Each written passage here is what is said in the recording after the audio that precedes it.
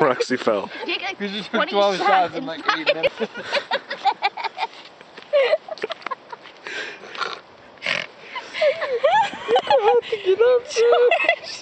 Oh my George, I always get drunk with you all the time. Is it my fault? George, I didn't even know if I was gonna like you when I first met you. I hated you the first time I met you. really? For real? No.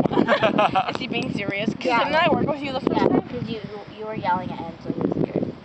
Oh my god. Then I thought you were a bad worker, right? I you told thought I you. was a bad worker? Because Am I a bad worker? no, you're no, not. no, it was your first day back. It was your first day back, so I was what like, what's wrong with her? But And then I he told me today that that the next day I worked with you, you were like a fucking speed demon, and I thought you were the best God, worker in the you thought I was a bad That's what I said. worker. That's what I said. I'm a bad worker. Everybody hates me.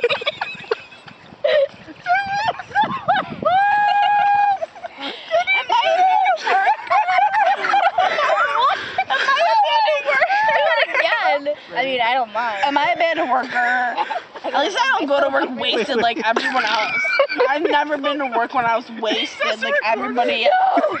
Everybody else goes to work wasted, but not me. Not me. I'm always sober I go to work at one stop. What are they doing? Why are they